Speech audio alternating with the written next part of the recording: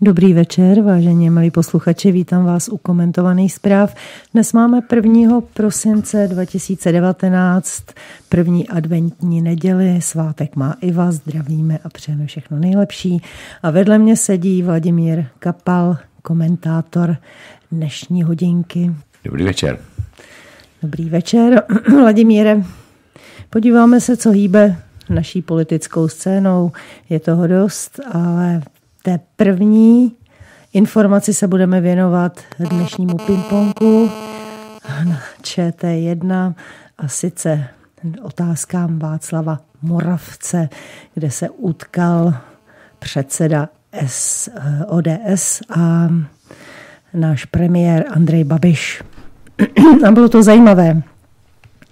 Dokonce si pan Fiala sebou vzal koncept smlouvy. Od dneška prý se budou po podepisovat smlouvy v televizi. Ale Říkal. To říkám já. Ale pojďme teda se podívat na jádro pudla. Pane Fialo, s tou superhrubou vás spláchl jak malého kluka. Sociální sítě zuří po ostré debatě Babiše a Fialy. Tak tedy O co jde? Sociální sítě se po dnešním pořadu otázky Václava Moravce v české televizi rozdělili do dvou táborů. Všichni diskutují o debatě předsedy strany ODS Petra Fialy a premiéra Andreje Babiše. A o čem politici během pořadu promluvili? Tak máme tady první informaci. Hádka kvůli šéfovi zdravotnictví byla vznesena otázka ohledně českého zdravotnictví a kritiky nynějšího ministra Adama Vojtěcha. Babiš eh, se Vojtěcha zastal a uvedl, že zdravotnictví se zlepšilo a přišla nová éra. Podle premiéra ODS by se nemělo radit eh, v této otázce, jelikož Mark Schneider, bývalý eh, člen, respektive člen ODS a bývalý první náměstek ministrů zdravotnictví podle Babiše zdravotnictví spustošil. A teď budeme citovat. Schneider byl největší zločinec v českém zdravotnictví. Po Praze se říkalo, že když údajně ukradl jednu miliardu, tak dělal Majdan, tedy Mejdan, Mejdlo když za nás někteří ti ředitelé skončili ve vězení, tak jsem jim říkal šnajdroidi. Já nevím, že má pan Fiala odvahu tady o tom mluvit. ODS nám nemá co mluvit do zdravotnictví. My jsme tam dodali peníze. Rozčiloval se Babiš. Babiš no, zcela typicky. Pardon. Dále se pustil i do samotného šéfa strany. Vy tady reprezentujete značku ODS, která byla založena v roce 1991, která rozvrátila naše hospodářství a nechala ho rozkrást. Já jsem založil protikorupční hnutí, Pane Fialo, vy jste slušný člověk, ale vy máte problém, že vás zvolili k motři, řekl premiér. Fiala mu oponoval a zdůraznil, že se nechtěl vracet do daleké minulosti, chtěl se bavit jen o šesti letech, během nichž řídil Babiš tuto zemi z pozice premiéra nebo ministra financí, ale když se Babiš přeci jen vrátil do daleké minulosti, Fiala tedy udělal to též. Já bych rád reagoval, já jsem ty kmotry neznal, to vy jste s nimi hrál tenis, to vy jste s nimi bohatl, vrátil Fiala ránu Babišovi. No vida, tak to nebyl ping-pong, ale byl to tenis. Velký. Takže podíváme se na další otázky. Když přišla na přetřes otázka superhrubé mzdy, Babiš označil návrh ODS za mega podvod. Cituji, to je největší podvod ODS na voliče. Oni chtěli udělat rovnou dáň, ale nevyšlo jim to, tak udělali superhrubou mzdu. To je mega podvod. Podvedli lidi a víte, kolik by to stálo peněz, kdyby se zrušila superhrubá mzda příští rok? 80 miliard. Schodek by byl 120 miliard. Ratingy by byly pryč a ekonomika by šla do kopru. Toto je demagogie, zničilo by to naši ekonomiku, prohlásil Babiš. Moderátor Václav, eh, Václav Moravec poté přehodnotil a přehodil debatní výhybku. Fiala konstatoval, že současná vláda vydává na investice méně, než vydávaly vlády ODS za času krize. Babiš okamžitě oponoval, že investice do dopravní infrastruktury rostou a ministři dopravy zahnutí ano, zahajují nové a nové stavby dálničních kilometrů, zatímco vláda ODS v podstatě žádné stavby nezahájila. Fiala i hned dodal, že za dobu, kdy se Andrej Babiš podílí na vládě, v této zemi za šest let se podařilo otevřít jen pár kilometrů navíc, což považuje za tristní. Když ta vláda nastupovala, tak jsme byli na nějakém 65. místě. Metl Fiala Babišovi do tváře s tím, že po šesti letech jeho vlády jsme klesli pod 150 té číslo příčky. Když tak má pan premiér rád čísla, tak tady je vidět, kam to ta vláda dovedla, uvedl Fiala. Reakce eh, na internetu. Sociální sítě bouřlivě reagovaly na rozhovor politiků. Voliči ODS podporovali svého předsedu. Pane Fialo, máte silné nervy. Eh, já bych se tam asi neudržel a jednu bych tomu falešnému člověku vlepil, i když vím, že by to bylo špatně, napsal sledující. A další tady, pane Fialo, vaše dnešní diskuze byla vynikající. Někdo už konečně musí nastavit zrcadlo A, B, tedy Andrej Babišovi. Doufám, že v politice bude v budoucnu více lidí jako vy, dodal Jakub Janda. No vida. Někteří uživatelé však poznamenali, že předseda vlády byl přesvědčivější. Petr Fiala byl proti Andreji Babišovi slabý, ne pro své kvality, ale protože si nese na zádech batoh sponzorů a kmotrů ODS, kteří tunelují a vykrádají republiku. A tomu se Petr Fiala ani ve vládě řízené Janou Naďovou nenašel odvahu vzepřít, napsal další ze sledujících, nebudu je tady jmenovat. Fiala je ubožák, vidí jen sám sebe, eh, bleje blbosti a neumí udržet nervy. Je to hloupý člověk, hrající si na inteligenta a spasitele skončí špatně a nikdo po něm nevzdechne, dodal další uživatel sítě. Takže také to bylo několik eh, komentů, které jsem přečetla eh, k tomu článku, nebo respektive Byly to, byly to eh, reakce na, to, na ty otázky Václava Moravce. Já, když to čtu, tak já bych se tomu skutečně ráda zasmála, protože mi to přijde, že to je, když se malé děti hádají někde, ale bohužel eh, to nejsou malé děti, to už jsou dospělí. A sice tací, kteří dokonce lidé si je zvolili za své představitele Politici jsou to, kteří ovlivňují chod tohoto státu. Přijde mi to velice smutné. Takže na jednu stranu bych se smála, kdyby to nebylo k pláči. Co ty, Vladimíre, na to? Tak u, u Moravce, což je tedy propagandistická tlama neoliberální nebo liberální demokracie a eurohujerského, eurohujerského směru, se setkali dva podvodníci. Eh, jeden, myslím, Petr Fiala, který prováděl Bernta Posselta, vůdce Führera eh, sudetoněmského Landsmannschaftu po Praze, publikoval v jejich časopise, než se dal na politiku a nazýval ho svým Freund, přítelem. A na druhé straně Andrej Babiš, oligarcha, který šel do politiky jenom kvůli tomu, aby si upevnil svoji, svoji mocenskou politiku. A e, co dělají pro náš lid, pro náš národ, pro náš stát, jeden i druhý škodí. Andrej Babiš je mistr v, řekl bych, oblbování, oblbování lidí. Jak oblbnul důchodce, oblbnul velký velký procento lidí, že ho dostal takových hlasů. Čau lidi. Protože ho volili jakoby, že o jakoby opozici, jakoby protest proti tomu, co nás, co nás tady vládlo. Na druhou stranu ODS se opravdu podepsala pod největší rozkradení díky Václavu Klauzovi staršímu v historii Česko, České republiky a to od svého vzniku, tedy ještě větší rozkradení, než bylo v roce 1620 a následujících po bitvě na Bílé hoře.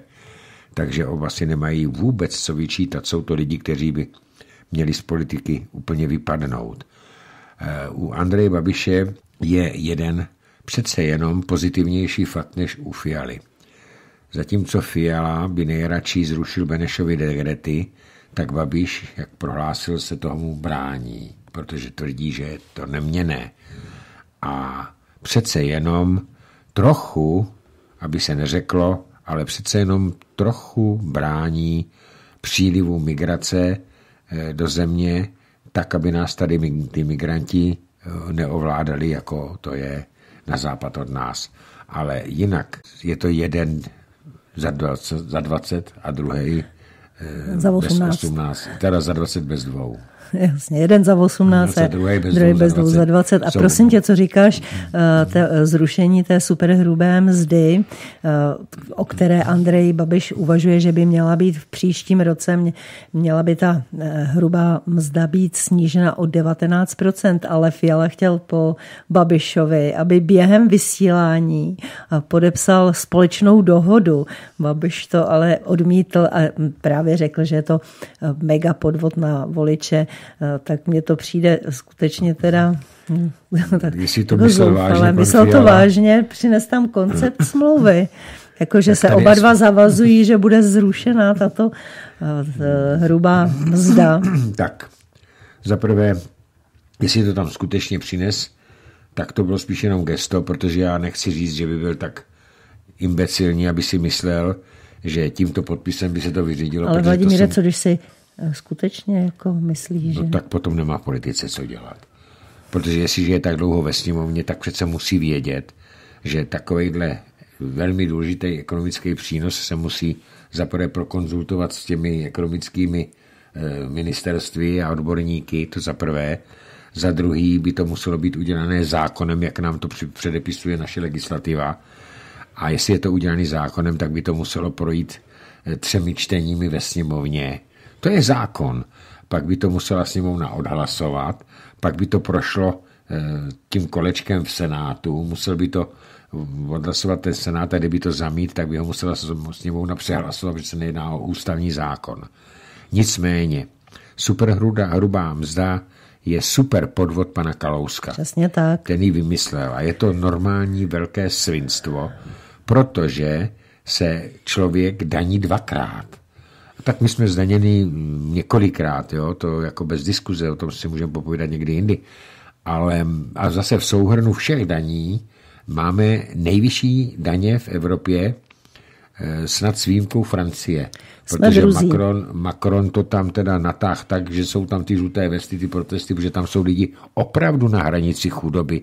A například venkovani, ty už nemají ani peníze ve, Francouz, ve Francii na to, aby si dojeli, nemají na benzín, aby si dojeli nakoupit do vzdálenek, protože tam nemají stejně jako my nemáme v každém eh, městečku, v každé malé obci krámek, jako to bylo minule. No tak no. oni nemají ty Větnamce? No nemají, ne. nemají. Snad já nevím, já tam na venkově nebyl, byl, no, my jsme byli v Paříži, takže tam jim. Ale superhrubá mzda je podvod Kalouska a já si pamatuju, když Babiš v roce 2011 zakládal ANO, taky se to jmenuje ANO 2011 eh, oficiálně, tak už tehdy vyprávěl a lhal lidem, aby je nalákal za prvé, že nebude zvyšovat daně, protože peněz je dost, jenom se neumějí vybírat. A on to bude umět. Za druhé, že, zhrubí, že zruší nesmyslnou superhrubou mzdu. Co to je superhrubá mzda? To znamená, že člověk dostane peníze, zaplatí z toho daň, ale pak platí ještě jednu i z toho, co už zaplatil. Jo, tak je to dvojí zdanění, je to sviňárna non plus ultra. A on to sliboval hned v tém prvním, eh, v prvních výstupech, který se vůbec prezentoval tady ve veřejnosti před volbami. Že to chce zrušit, ano. Že to chce zrušit. A to je v roce 2011, to Ale je to, je to 8 let. Je to zaběhnutý systém. No, je to zaběhnutý jako systém, Jako udělat to z fleku, to nejde. Neudělal to. Za 11 let se ano, to neudělalo. Teda za 9 let se to neudělalo. No za celé to období. 6 let je u moci, ano. tak za 6 let neudělal ani slovo, ani, ani ťuk s tím letím. To za prvé, za druhý. Říkal, že nebude zvyšovat daně. zvyšuje daně. Zvyšuje nepřímé i nepřímé, protože tím, že se tady dopustila jeho vláda k tomu, aby se tady takhle zvedla inflace, tak se zvedly, neskutečně se zvedly ceny všeho, což je v podstatě zase příjem To práce. jsou ty nepřímé daně. Protože z toho nárůstu je on je rozdíl platit DPH eh, u konečný spotřebitel, eh, třeba u cibule, když stála 4 eh, koruny, a nebo když stály, stojí 30 korun, tak to DPH je pořád 19% nebo 21%, tak to je rozdíl z toho. A tohle to všechno do státu. Takže Andrej Babiš lže, i když popřeje dobrý den. A Fiala, to je člověk, který, ať se mi na mě zlobí nebo nezlobí, ale který o reálném životě hm, toho ví asi tak málo jako já o jaderné fyzice. No vidíš, a hraje se na ekonoma. hraje se na ekonoma, vůbec to eh, neví, jaká, zásadní věci. Jistě. A hlavně on, ODSK, má za sebou největší podvod v historii českých zemí od svého samotného vzniku. Tak a teď ještě další otázka, která se probírala také u Václava Moravce a to byla eh, cesta eh, předsedy Senátu Kubery na Tajvan. Expertní tým prezidenta Miloše Zemana v sobotu odsoudil cestu eh, předsedy Senátu Jaroslava Kubery do Tajvanu. Česká republika totiž s ohledem na politiku jedné Číny neuznává tento ostrov jako samostatný stát. Je to netradiční, nicméně to rozhodnutí je na panu předsedovi. Okomentoval Kuberovo jednání v sobotu i minister zahraničí Tomáš Petříček. S tím souhlasí i Fiala. Je to věc předsedy Senátu, prohlásil, nakolik dá našim obchodním zájmům na Tajvanu důraz a nakolik to zase bude v rozporu s našimi vztahy s Čínou, řekl. Jeho úmysl je navštívit obě země, doplnil tak podle Babiše není vhodné, aby vzhledem k české politice předseda Senátu na cestu jel, poškodí to naše vztahy a firmy.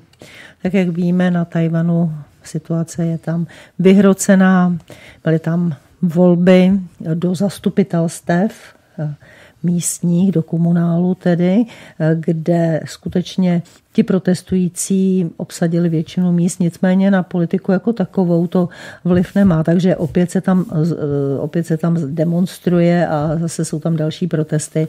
Je tam vlastně ta situace stále stejná. Jedni si to přehazují na druhý a odnesla to Lam, to je vlastně jako primátorka toho, toho města nebo toho ostrovu. Hmm. Takže Co se takováhle situace tam je. Musíme si uvědomit dvě věci. Za prvé, pan Kubera byl velmi úspěšný, ale opravdu skutečně velmi úspěšný politik, kterému se podařilo islamizovat Teplice a okolí. Žádnému jinému primátorovi se to nepodařilo tak jako, jako jemu. Teď mu bude hodně šlapat na, parte, na paty eh, primátor Prahy Hřib. Ale ten ten primát nejvíce islamizovaného města a okolí má pan Kubera sám u sobě, ne, na sobě. To je jeden fakt. Druhý fakt. Po prezidentovi republiky je předseda horní komory Senátu, ať se nám to líbí nebo nelíbí, druhým nejvyšším ústavním činitelem. A jestliže se první nejvyšší ústavní činitel, prezident republiky, a druhý nejvyšší ústavní činitel, předseda Senátu, naprosto liší v Pohledu, přístupu k zahraniční přístupu. Mhm. politice, tak to svědčí o nedobré situaci v tomhletom státě. Jestliže Česká republika oficiálně podepsala s Čínou smlouvu, obchodní smlouvu, partnerskou smlouvu, ve které byl zakotven bod, že uznáváme celistvost Číny, tak si nemůže druhý nejvyšší ústavní činitel teď jet do rebelské části, která se chce odtrhnout od té pevninské Číny a chce si jít vlastní cestou. To, je, to nejde. To je to samé. Teď si představme, aplikujeme si to na nás. Teď si představme, kdyby se třeba Olomouc, nebo já nevím, Hradec Králové, ať to, to, to je v Čechách, abych nebyl napadený moravskými separatistickými separatistickými Vlastickými. Od, no, těmi Dobrý, jsou to oni. tak ty, co, co chtějí to Moravu se otrhnout snad, tak eh, aby mě nenadávali, tak kdyby se třeba Hradec Králové rozhodl, že teďka, že chce vystoupit ze svazku České republiky a že bude mít republiku Hradec Králové, nebo Kladno, aby to bylo tady o to. Tak samozřejmě, když těm by se to líbilo, protože by se naslibovali na malý daní a takovýhle všechny, těm lidem, ty tomu nerozumějí, a najednou by tam přišel náš nejvyšší představitel, druhý nejvyšší představitel a začal by se s nima paktovat. Tak to dá jasně tomu státu najevo, že na něj tašle. A jenom proč?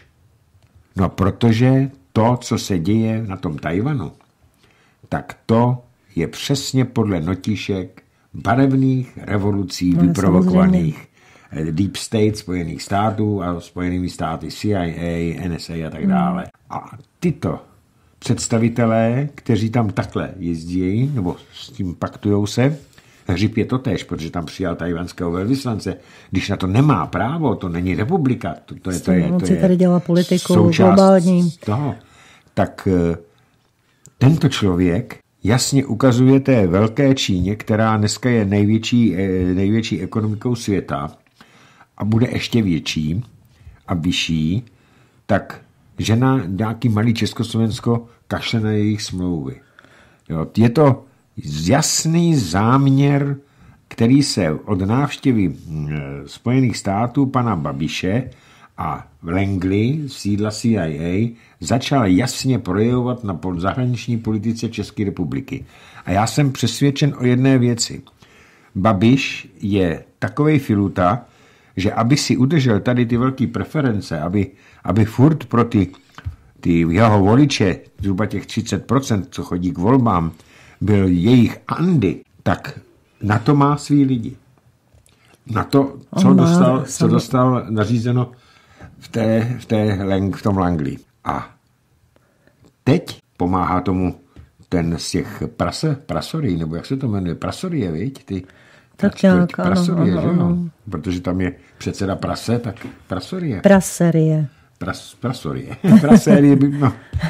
tak eh, se asi neschodneme. Hmm, tak tady, jak hřib, tak tenhle ten, tenhle ten uh, prasorijský starosta, tak uh, ty se snaží o jednu věc, aby se přerušili celkem dobré mezistátní vztahy, ano. jak s Čínou, tak s Ruskou federací, no tak abychom všechno. poslouchali to, co chtějí Evropská unie a Washington ať jdou do hajzlu takovýhle lidi, včetně pana Kubery.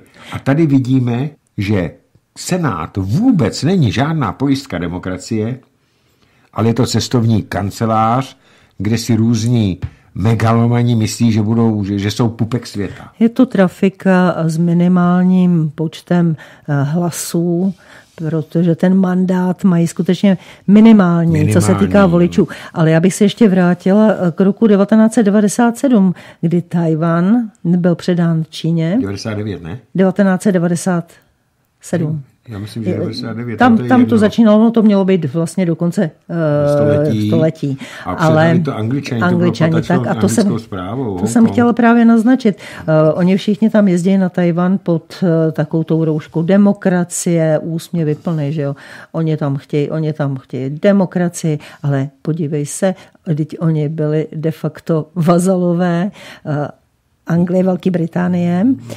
je pravda, států. Spojených států, je pravda, že to byla výkladní skříň, že se tam spaly peníze, aby prostě eh, bylo vidět, jak, jak je ten západ, jak je úžasný, že jo, tak eh, to my víme, ale co se týká demokracie, co Velká Británie, co je za demokracii, podívej se na Assange, kterým pomalu umírá ve vězení. Jo. A podívej se eh, Ale na, na, Tobyho Robinsona. Na Tobyho Robinsona, teď jsem ho chtěla zmínit. Takže to jako té demokracie, tak jak se nám hodí. A to je právě to farizejství a pokrytectví, které eh, panuje na té typicky západní přístup. Nedá se nic říkat, je to tak, to jsou fakta, to není nic protizápadního, to jsou fakta. Podívejme se na demokracii třeba ve Velké Británii, kdy oni tam za terorismus odsoudí, odsoudí teroristu a pak ho v roce 2012, v roce 2018 ho pustějí. Pustí, ano. A on teďka zavraždí lidi, ano. že ho musí ozbrojovat eh, kolem jdoucí. A tak ho policajti nejdřív nechali odzbrojit, protože viděli, že má na sobě tu, tu vestu s těma výbušninama, tak radši utekli, ozbrojili ho lidi a zase paradoxně ho ozvojil, odzbrojil už propuštěný vrah. Jasně, to je ano, opravdu ano. paradox, že to byl člověk, který byl seděl za vraždu a ten ho odzbrojil a bylo mu jedno, sebral mu ten nůž, eh, jestli na sobě má tu bondu nebo ne. A ty policajti ho zastřelili. No, zkrátka, dobře. Toho, toho teroristu, to... který nebyl teroristou, jo, podle jejich měřítek. No, no, no. Je pravda, že eh, lidé eh, takhle byli ne, to... byl to teroristický útok, to už říkali, že to byl teroristický byl to, útok. Dobře, já si dělám, já to beru v úvozovkách, ale uh, muži z lidu odzbrojili ano, tohoto ano. teroristu, nikoli policie. Policie ta ho potom zastřelila. Asi, aby nemohl mluvit. Asi no, tak, a teď to, tohle to všechno vyváželi ty státy do toho Hongkongu, do toho Tajvanu a e, ti lidé tam byli zvyklí na západní způsob života. A samozřejmě Čína, i když je to ekonomický tygr, který válcuje Spojené státy a všechno A je to kapitalismus? Svět, a je tam tvrdý kapitalismus v Číně, protože název komunistická strana to už je jenom název vládnoucí třídy, vládnoucí kliky. Tak je to jiný Jinak systém. to s ideologií nemá nic společného. Tak tam chce a nastoluje tam jiný režim, no. jiný pořádek. Ano. A jak známo, ve všech kapitalistických zemích vládne korupce, protože demokracie rovná se korupce. A Čína, na, na ta kontinentální Čína se s tou korupcí vyrovnává tak, že neváhala, když to zjistila u ministra, tak prostě ho neváhala odsoudit a pospolu, zastřelit. No, no. A to se těm, těm studentům, a kdo zase to dělá? Zaplacení a vymytý mozci e, študáci. Pátá kolona. Pátá kolona. Neziskovky. A tam chce jet Kubera, aby ukázal, jak je poslušný notiček Spojených států. No, jak je to mopslík. A jak je to mopslík. A když ho prezident republiky Zeman v podstatě umravňoval, tak mu řekl, že mu nikdo nebude rozporoučet, kam má jet ani prezident, ani Čína. No. Je to tady miliarda a 300 milionů lidí v Číně a 10 milionů lidí v České republice, z čehož je skoro 2 miliony cizinců.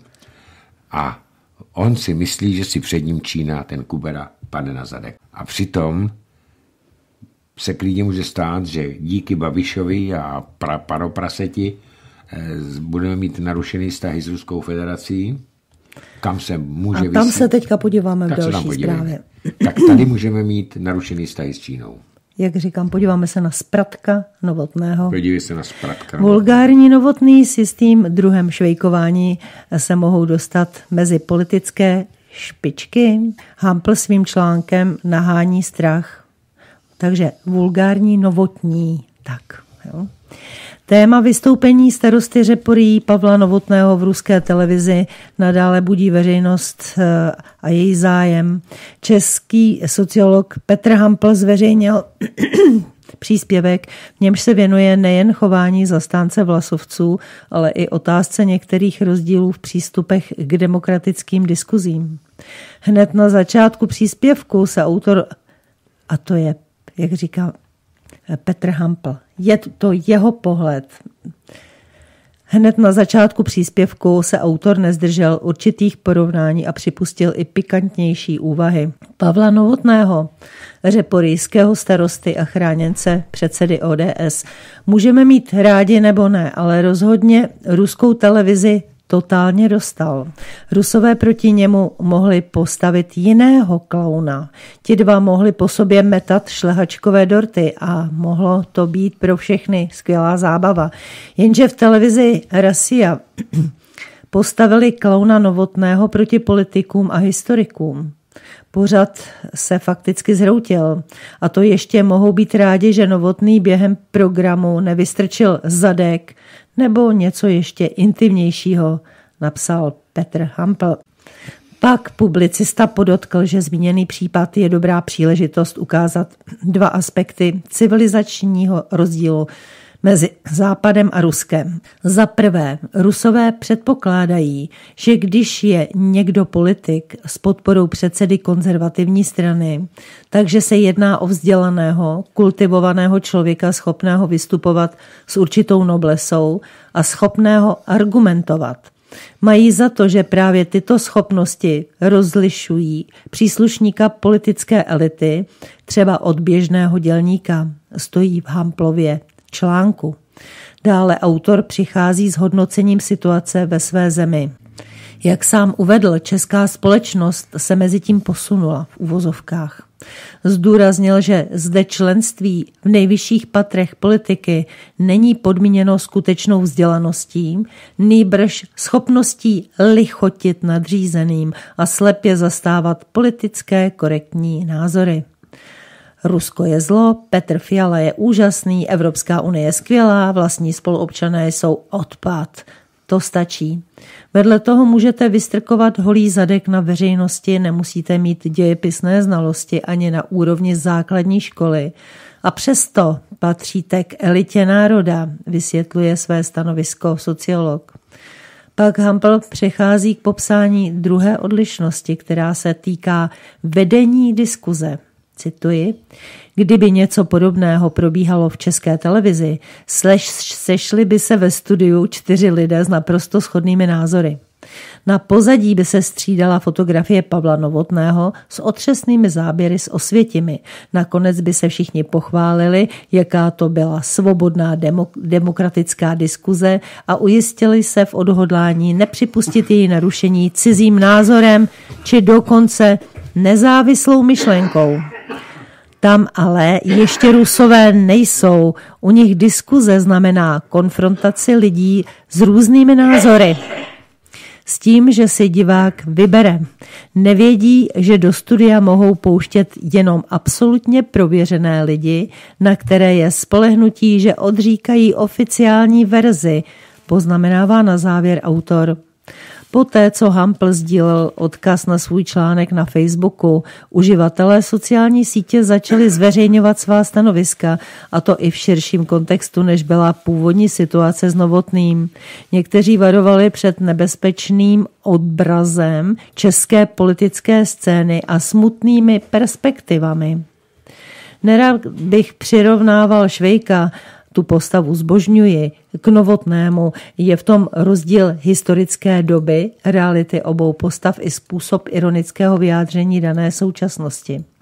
Co mi však vadí, připouštět vůbec možnost nebo realitu, že takový vulgární novotní s jistým druhem švejkování se mohou dostat mezi politické špičky. Jednoho takového sládka jsme tu už měli. Pestrost osobnostní politiky bych raději viděl v jejich invenci pro společnost, jenže do toho máme fakt dost daleko. Ale mezi tím vzor a podpora takových novotných jednoznačně nenaplní voličské místnosti, což se nám může zvrhnout k anarchii nebo zpět vládě jednoho hlasu a bude úplně po diskuzích, to napsal Stanislav Hanovský a byl to, byla to reakce. I další promluvili o nebezpečném stavu, v němž se nachází veřejnost. Je nutné si přiznat, že společnost je nemocná. Stotožnit se s takovým jednáním a následně podpořit, vyzdvihovat, velebit znamená sympatizovat s psychiatrickými diagnózami, vyjádřila se k situaci Ludmila Studenovská. Jiní vyslovili nespokojenost reakcí s chováním novotného a upozornili na poškození image českého národa. Ke svému nemilému překvapení jsem zjistil, že docela hodně lidí radostně tleská ručičkama a křičí tento těm rusákům nandal, uvedl jistý Dušan. S tím, že pokud jeden člověk bude takové věci vyřvávat do zahraniční televize a přitom tvrdit, že si to myslí všichni Češi, potom je na místě otázka o znovu zavedení veřejných poprav tak to je samozřejmě v úvozovkách. Takže Vladimíre, to byly nějaké reakce a pohled eh, Petra Hampla na diskuzi, která se odehrála eh, v ruské televizi eh, Rosia, a kterou si určitě viděl, viděli ji taky naši posluchači. A musím říct, že to bylo skutečně divadlo, že eh, jsem se styděla samozřejmě za to, že vůbec takovýhle člověk může se takto chovat, protože mi připadal, že to jako chovanec nějakého ústavu, že to není politik, že to je opravdu jenom zlý sen. Ale eh, Petr Hampel má velice velkou pravdu v tom, že oni oni přecenili vůbec, vůbec schopnost eh, nějaké diskuze eh, s tímto člověkem a že mu měli dát adekvátního šaška, Potom možná by to byl teda další ping-pong, ale na té úrovni, protože mm, Šašek s Šaškem by si možná eh, že rozuměli, co se týká úrovně. Za prvé, já mu vůbec nerozumím. Já jsem si vždycky myslel, že prvním a základním předpokladem člověka, který chce působit v politice, anebo na novinářské scéně, tedy pokud nepíše, tak je schopnost srozumitelně hovořit. To znamená, že musí mít určitou verbální kulturu a inteligenci. Petr Novotný drmolí, takže já, ať se na mě nikdo nezlobí, já mu skoro nerozumím. To je jedna věc. Za druhé, já jsem se nikdy, a scháněl jsem se, nedozvěděl, jaký tento člověk má vzdělání. Proč? No protože vymýšlet si takové hámotiny, a říkat o tom, že vlasovci nebyli součástí e, norimberského procesu, tak to může říct opravdu ignorant, protože neví, že součástí, součástí norimberského procesu nebyl jen samotný proces v Norimberku, ale následné procesy, které byly po celém, e, celém Německu a hlavně přímo na norimberském sále se projednávaly i organizace, které byly obžalované proti, za zločiny proti lidskosti. Mezi nimi bylo jmenované i ruská osvobozenecká armáda ROA pod velením eh, generálů Vlasova a Vojáčenka. Přičemž eh, jeden, jeden za 18 a druhý bez dvou za 20. A jestliže tohle člověk řekne, tak to řekne jenom člověk, který nemá naprostě ánuk o tom, jak to vlastně bylo. To je, to je druhá věc. A třetí věc, a největší tragédie. Jak je možný, že takovýhle šašek, a já tady v tom případě nesouhlasím s Petrem Hamplem, já bych ho nepřirovnal ke Švejkovi, já bych ho přihnal, při, připodobnil k jiné figuře z toho nesmrtelného románu, a to je s tím udavačem Pepkem Vyskočem. Protože tenhle ten člověk je totéž. No, asi ano. Ano, to by byl uh, dobrý partner pro něj. Přesně tak.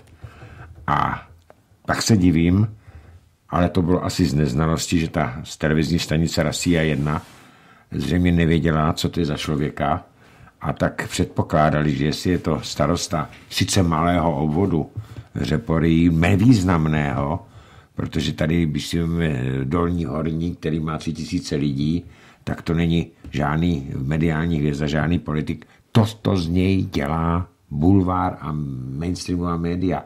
Toto z toho dělá z toho novotního. Kdyby o něm nepsali, tak by tohle nedělal, protože by to mohl klidně dělat a nikdo by se o tom nedověděl a bylo by to každému putna. A ta televize to nevěděla, ta ruská. Protože kdyby to věděla, co to je za člověka, tak eh, v podstatě by si ho tam ani nezvala, protože by věděli, že to jsou lidi, kteří nedají na argument. On si mele furt to svoje dokola jak kolovrátek. Eh, pamatuješ na film Rain Man? No, no. Jak Dustin Hoffman, skvěle zahraný eh, autista, jak byli v hotelu a ve tři hodiny se vždycky v tom ústavu koukal na, tu, na ten seriál, jak to opakoval furt dokola. To je Petr Novotný. Ten furt si mele já neříkám, že je autista, on to je idiot. Ale ten si mele furt to svoje a vůbec neposlouchá. Co říkají ty druhý? A to ty televizáci ruský nevěděli. Hmm. Já bych se na to podívala ale trošku ještě z jiné strany. V eh, Rusku mají početnou eh, pátou kolonu jako čele s Navalným. A vem si to, že někteří mladí lidé, kteří viděli tento pořad, a on tam vlastně představoval tu západní kulturu, nebo v uvozovkách, vystupování to musel být pro ty mladé lidi, anebo vůbec lidi, na ty uh, sledující. Pro tu pátou kolonu tak to musel být šok. Ale i pro ty, kteří jsou třeba na vážkách, kteří se potřebují zorientovat eh, v tom politickém. Řek, že ty, Když se... viděli tohleto, tak to skutečně, hele, já si myslím, že to eh, bylo dobře na, na tuhle stranu, že ukázalo vlastně ta televize, jak ten západ je prohnilej, jak, jaký jsou tam eh, degeneráti. A tohle to možná a jo, tohle bylo, bylo a tohle to, že si lidi volej. A, a, tam, starosta. a tam by, chtěli, tam by oni chtěli směřovat, ta pátá kolona. No tak já si myslím, že to na jednu stranu Nehledě eh, bylo to, dobře, že viděli že tu úroveň západu. On vystupoval jako nacista. Ano, tak byl, na, oni ho tak nazvali, že to... To byl nácek. nacistický projev. Ano. Já si pamatuju, když jsem viděl film, pravda hraný německý film, o probíhajícím soudu s hitlerovským, eh, tedy s hitlerovským soudnictvím, už za panování Hitlera s Dimitrovem, tak tam to bylo to tež. Ten Dimitrov se hájil sám, byl právník. Ano, ano, byl mimo jiné obžalovaný, že zapálil říšský sněm. sněm ano. A on tam říkal argument a ten, ten žalobce furt si mlel dokola to samý, aniž by slyšel, co, co ten druhý říká. A to je novotný. Novotný tam, mě tam připomínal normálně jak urvanýho, debilního nácka. A ty lidi, kteří jsou na vážkách, tam, který si říkají ten západ, jo, takhle jsme to říkali v 89. my, tak ty jasně musí vidět, jak si správně řekla. Tak jestli tohle to tam lidi volej, tak to radši ne. No já myslím, že Putin by mu měl zatleskat za tuhle antipropagaci západu. Asi tak ale je to smutné. Tak Víš, podíváme. já se ale hlavně těm lidem v těch řeporích, protože on jinak mluvit neumí. A já jsem, ti říkám, seděl v tom zastupitelstvu strašný leta a byl tam taky, v tom posledním, co jsem byl, tak tam byl jeden, ten politik komunální, který nebyl tak špatný, ale on dremolil podobně jako e, Novotný. A já jsem mu vždycky říkal, Jirko, prosím tebe, mluv velkými písmeny a tiskacími, pomalu. Teď mu není rozumět, teď si museli říkat, Ježíši Kriste, kdo to? No dobře, ale Novotný není žádný dobrý politik, komunální, no, není, to je debil. zneužívá pravomoci, podívej se, on klidně píše pod hlavičkou míst toho úřadu, eh, píše o svoje nějaké pocity a osobní dopisy. A to je další věc, to by se eh, mělo prošetřit, protože ruské... na papíře se smějí dělat jenom uh, Úřední záležitosti. záležitosti. Tohle to byla soukromá. Zneužití pravomocí. Novotnej byl jeden z těch, který tak dlouho a, a, a intenzivně a dlouhodobě e, ril a štval eh, ten bulvár proti Ivetě Bartošový, no, že možná věc. i díky tomu novotnému ona neunesla, protože byla psychicky labilní, velmi no. labilní, neunesla ten eh, tu tlak a, a, a spáchala tu sebevraždu. Mm. A přitom to byl jeden z nejkrásnějších hlasů u nás vůbec, ženských. Já, já bych ji přirovnal eh, hlas Ivety Bartošový ke stejnému výjimečnému jevu eh, hlasovému a to je, eh, to je Hanna Urlichová. No tak skutečně Iveta Bartošová měla problémy psychického no. rázu, no unést tu slávu peníze a všechno, co je s tím spojené. Ale navíc ten jeho nes, to ne, ne, ne, A ten bulvár, který štve jak, jak hyeny. Co říkal, když jsme tam byli s Jarkem Nohavicou? Tady, co, co říkal? Že byla uštvaná. Tak stejně hajzlové z toho bulváru uštvali. Ano. A řekl to velice Jarek správně. Pro, Nohavica, kolik tam bylo? 2000 lidí. No, bylo jich tam hodně. Tak, podíváme se na další zprávu a tentokrát k našim sousedům. A jedná se o Německo a Polsko, které eh, tyto dvě, eh, dva státy mají vlastně takovou při. Německý plynový regulátor se postavil proti Polsku, které přístup Gazpromu k plynovodu Opal zažalovalo. Německo jde proti Polsku, odvolalo se proti rozsudku Evropské unie, který omezoval Gazprom. Podle informací ruského deníku Vědomosti podal německý plynový regulátor Bundesnetz agentur odvolání proti rozsudku Nejvyššího soudu Evropské unie ve věci omezení dostupu firmě Gazprom plynovodu Opal. Nejvyšší soud tak rozhodl na základě žaloby Polska, které tvrdilo, že přístup ruské firmy k německému plynovodu poškuzuje polské zájmy a také třetí energetický balíček Evropské unie. O rozsudku Evropského nejvyššího soudu jsme už naše čtenáře informovali. Odvolání proti rozsudku bylo podáno 20. listopadu, což byl poslední den, kdy taková možnost platila.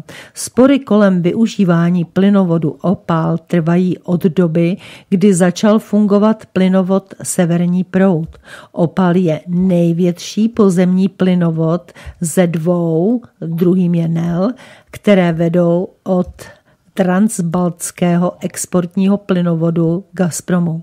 Takže to je taková informace, která je vypovídající o tom, že Polsko nemá zájem na Nord Streamu 2, dělá Gazpromu problémy.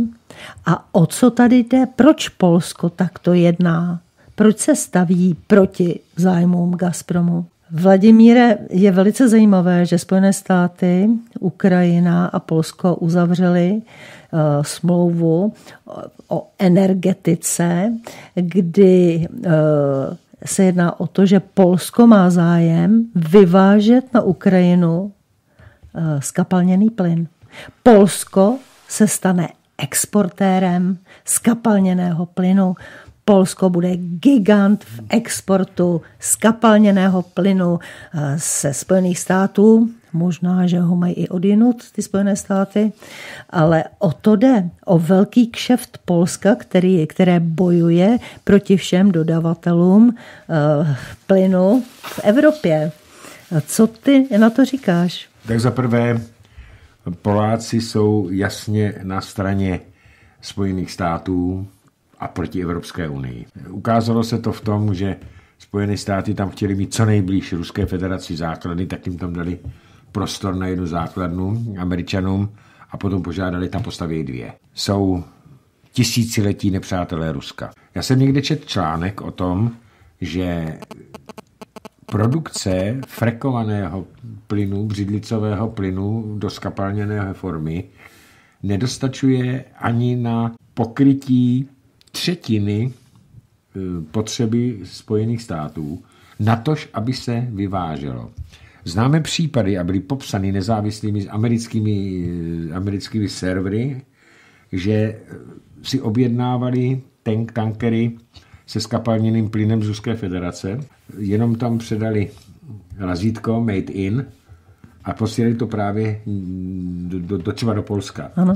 S 30% navýšením ceny než jaký to koupili od Rusů, protože Rusové to prodávají za stabilní cenu všem. A to je celá sranda. Oni už souhlasili s tím, polská vláda, která kašle na lidi, jako každá vláda v současném světě kašle na lidi, že nebudou brát levný plyn, plyn od Rusů, ale budou brát eh, drahý plyn od Spojených států pro svý vlastní lidi o 30% dražší. A protože, aby se to Spojeným státům vyplatilo a aby se to taky vyplatilo Rusku, tak si udělali dohodu s Ukrajinou, že jim tam budou tenhle ten eh, skapalněný plyn posílat. On totiž v tom plynu vůbec nikdo nepozná, jestli je to tady z nalezišť z Ruska, No to je to, co jsem nebo už jestli říkala. je to frekovaný ve Spojených státech. Jo. A kdo to zase zaplatí? tak si pospočítej. Oni to budou mít o 30% dražší od Američanů a prodají to těm eh, Ukrajincům a ty to budou mít zase ještě o 10% dražší. Oni by to rádi prodávali všem.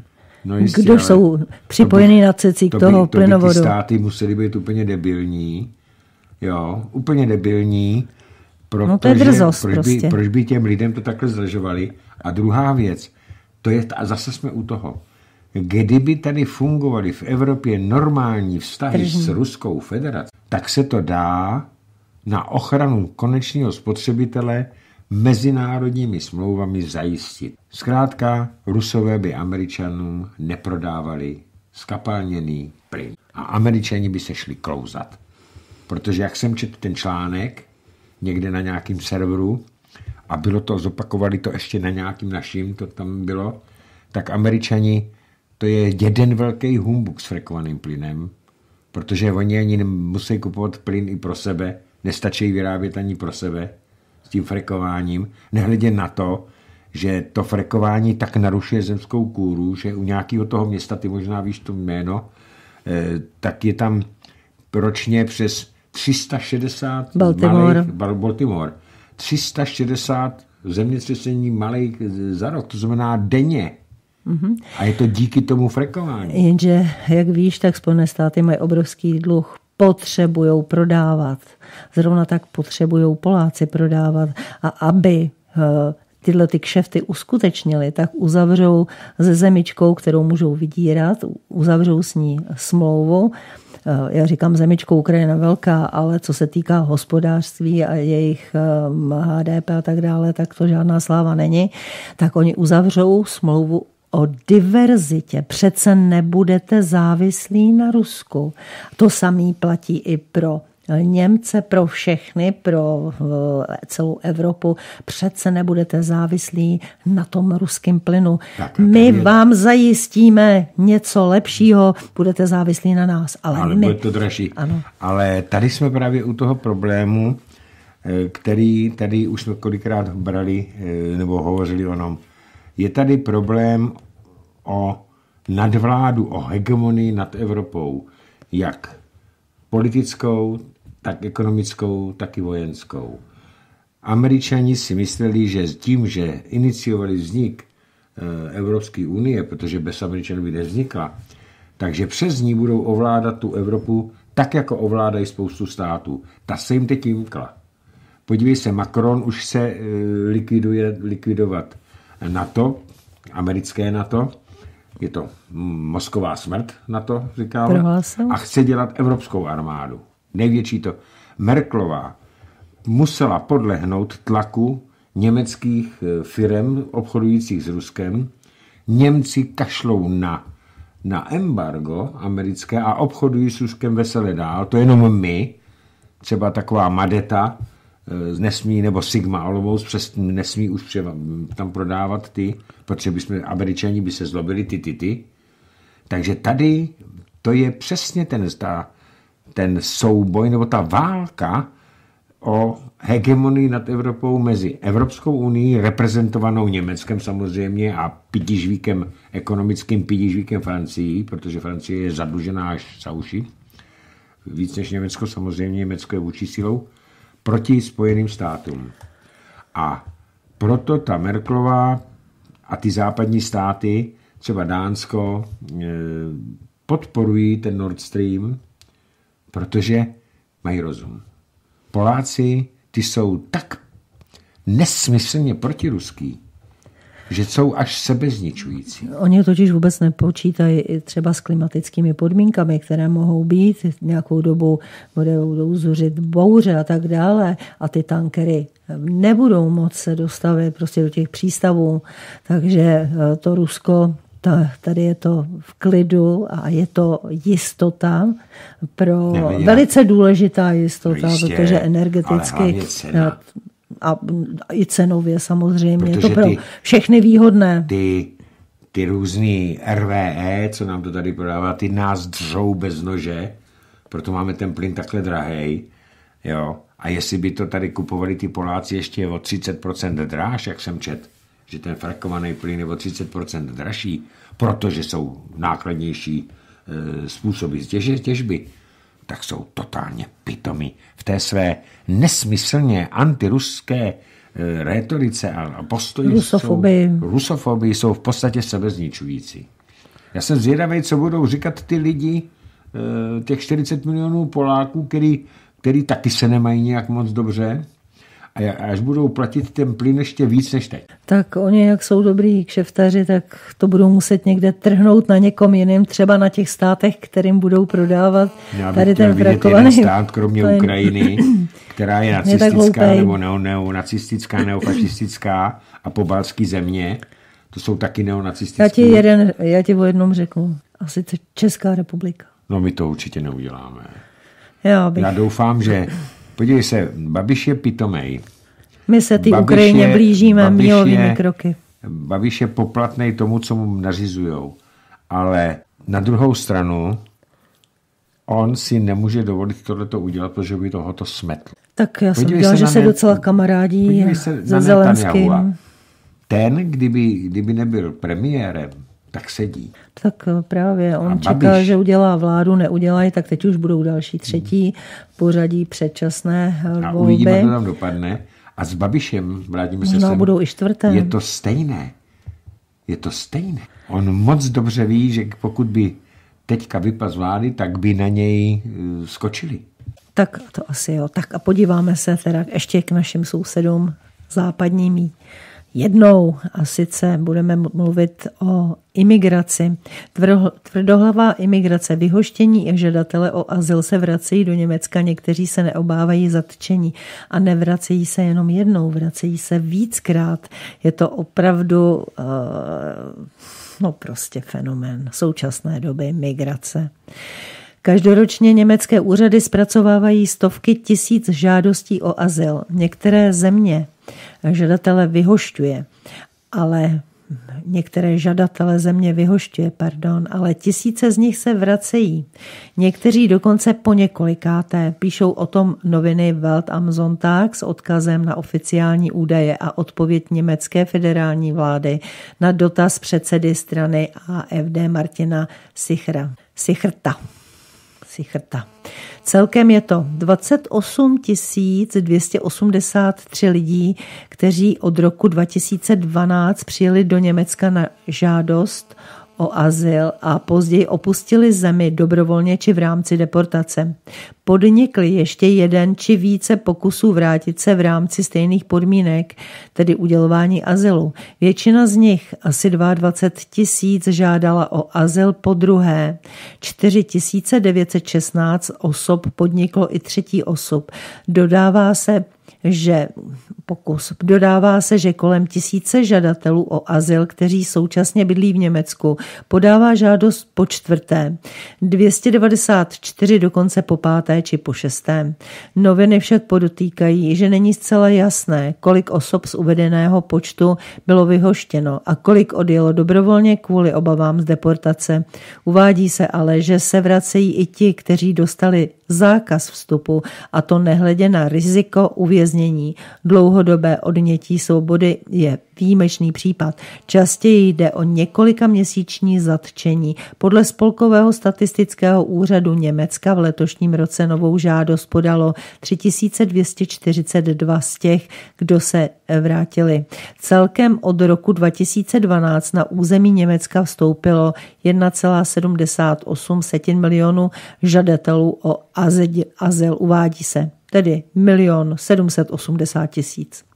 Na konci letošního června Bundestag schválil nový balíček migračních zákonů, které se také týkají udělování azylu a deportace. Jedním z cílů bylo zajistit větší počet deportací a zároveň ulehčit vstup na území Německa pro práce schopné lidi. Šlo také o přeskoumání podmínek pro žadatele o azyl, včetně požadavku o dobu pro výběr místa pobytu. Dříve americké výzkumné středisko Pew Research Center uvedlo, že v roce 2017 se na území Evropy bez řádného povolení nacházelo 3, teda 3 miliony 900 tisíc až 4 miliony 800 tisíc migrantů. Většina z tohoto počtu, tedy 70%, byla v Německu, Francii, Itálii a Velké Británii. V Německu tento počet činil 1,2, tedy milion 200 tisíc cizinců ve Velké Británii od 800 tisíc až 1 milion 200 tisíc lidí. V Itálii se jejich počet pohyboval mezi 500 tisíci až 700 tisíci. Ve Francii se jednalo o 300 tisíc až 400 tisíc lidí. Tak to jsou počty, to jsou fakta. Eh, když tady byl naposledy Zdeněk Chytrá a bavili jsme se o migraci, tak on nám tam řekl, co četl v německém, německém tisku, že už přiznali, že tato oficiální čísla jsou oficiálně lživá. 1,7 milionů je oficiálně lež. Oni jich tam nemají, těch migrantů, necelý 2 miliony. Oni jich tam mají pět, to tam psali ty německé noviny, pět milionů, o kterých vědí, A dokonce tam bylo v některých těch alternativních médiích, že jich tam je 7 milionů. To, že se sem vracejí, to je naprosto normální, protože oni přeci sem přijdou a vidíme to na té naší holce, co tady se soudila s naším státem díky eh, kvůli té škole, díky té paní Ten Šabatové, šátku, ano. protože ta třikrát dostala naše šátková kauza. Šátková kauza, ano, té, ta ředitelka z toho měla několik soudů. Paní Šabatová ji chtěla zničit, že si dovolila ano. dodržovat zákony. Tak ta holka třikrát dostala od nás eh, náhradní doklady a třikrát je zahodila. Třikrát je ztratila. No, zahodila. No. Jo, třikrát je zahodila, aby nebyla identifikovatelná. A tohleto ty, tyhle ty migranti vědí a dělá se to běžně. Když se dokonce psalo v německém tisku, a ty to taky víš, že, že e, tam jsou hlášení pro, pro dávky, jsou hlášení někteří lidi ve třech, čtyřech i pěti místech. Ano, ano, jo? několikrát je berou. Několikrát, tak jaký to je bordel. Ano, to určitě tak, Vladimíra, to jsou lidi, kteří jsou vyhoštěni, to znamená, oni by neměli vůbec přes hranice znovu přejít, ale prostě hranice neexistují. To je takhle umyslně samozřejmě udělané, aby tady byl co největší chaos. Mně to připomíná takové hejnomuch, taky prostě ty je vyženeš oknem, vyženeš je čímkoliv a oni se ti samozřejmě natáhnou rychle zase zpátky, protože uh, hold, tam něco je, co je láká, to znamená uh, finanční dobrý zázemí, bydlo. dobrý bydlo, tak asi. Jo, takže uh, hloupej, hloupej, kdo bere, hloupější, kdo nebere, asi takhle, nebo jak se to říká. Hloupej ten... Hloupej, kdo dává, dává hloupější, kdo nebere. nebere. Tak, tak, takhle jsem to chtěla. Ale já bych to řekl ještě, ještě bych řekl jednu věc o těch mouchách. Podívej se, když je začnu chytat, abych je vyvraždil. Jak se okamžitě schovají. Ano, ano. Jo, Mě to tak, já jsem přemýšlela nad migranti. tím, eh, k, ke komu je přirovnat, ale skutečně mi to přijde tak, jako, že tady ten hmyz, je to je přesně adekvátní ano. přirovnání. Eh, prostě oni tam nemají už co dělat a přesto se budou vracet někteří šestkrát. Ano. Eh, dokonce vláda německá jim zaplatí letadlo. Aby, ale dávají jim ještě jo. peníze za to, že odejdou a oni se vrátí znova. Ne. Ale je pravda, že mouchy na dovolenou nejezdí. Mouchy na dovolenou jo. nejezdí, to je sice pravda, ale otravují život taky. Tak. Takže asi takhle. To máme dneska, ještě tady máme spoustu toho, ale eh, čas se nám nachýlil, je to pravda, já tam nevidím teď. No je 21.04.33. Takže my pomalinku končíme, protože ještě jsou tady připravené další pořady. Jsi namlouvala zprávy, ne? Ne, ne, ne, dneska ne, ale uh, i tak tam máte zajímavé, uh, zajímavé zase kulturní záležitosti. No a jenom, říkal. abych vás připomněl, co vás čeká zítra od 19. Budu se podrobněji věnovat té kauze jak eh, Andreje Babiše na Ukrajině, tak eh, toho novotného a pak se budu věnovat tomu, co tady zaznělo v pátek při pořadu mm, s Jirkou Kobzou, ano. protože jak tam volal do té části interakcí pan Otoman Zlínský, tak to vyvolalo, eh, vyvolalo velkou, velkou odezvu mm-hmm. těch eh, e-mailů. My jsme včera byli na návštěvě, včera jsme měli příjemný den, takže jsme viděli zase pravnoučka, on je úžasný, dva půl roku mu je, ale byli jsme prý celý den, takže jsem neměl čas na maily, takže těm, který jsem neodpověděl, tak uh, asi nebudu mít ani čas to odpovědět, ale budu se o tom bavit v pondělí. Dobře, tak já ještě tak já se musím pochválit nakonec. Když to neudělá někdo, tak já uh, musím, musím tohle teda uh, tu informaci podat. Jak jste si mohli všimnout, tak moje intervence u providera byla úspěšná a zatím ano. nám internet nepadá, takže to jsem moc ráda, že eh, jsem tuhle tu věc popohnala a zařídila a doufám, že budete spokojeni a nebudete něčím rušeni ani některými eh, přístroji telefonními, kteří, které občas drnčí a ruší eh, právě vysílání, tak já tady poprosím Vladimíra, eh, aby si to dal na nějaký, nějakou podložku, nějaký hadr nebo na něco. Já to nejde pomůže nic, já to držím na klíně a stejně to, to... někdy opravdu ten, je velice rušivé. Ale byl tady, byl tady Petr a ten mi to zkoušeli odstranit a on říkal, že tady, jak jsou ty kabely, tak to interferuje přes kabely. Mm-hmm. A ten, ty kabely tady musí mít. Dobře, tak se na to ještě podíváme, no. abychom vyřešili no. tuhle záležitost a měli jste klidné, klidný poslech. Ne, já no. to dokonce držím na klíně, aby, aby to nedrnčilo všechno a stejně mu to interferuje, je to tam slyšet.